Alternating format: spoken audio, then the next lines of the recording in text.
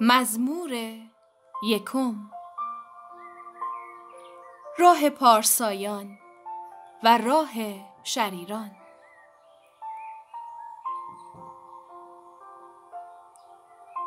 خوشا به حال کسی که در مشورت شریران گام نزند و در راه گناهکاران نایستد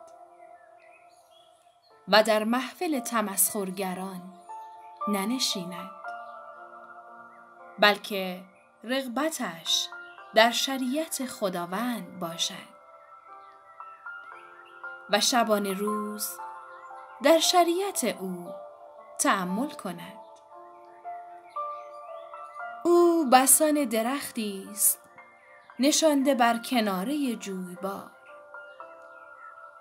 که میوه خیش در موسمش آرد به بار. و برگش نیز پژمرده نشود. و در هر آنچه کند کام یابد. لیکن چنین نیستند شریران بلکه همچون کاهند که دست باد میراندشان.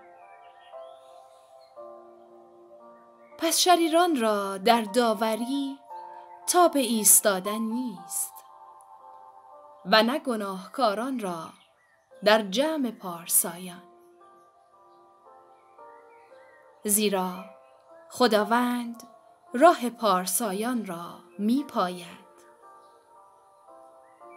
اما طریق شریران به نابودی می انجامد آمین.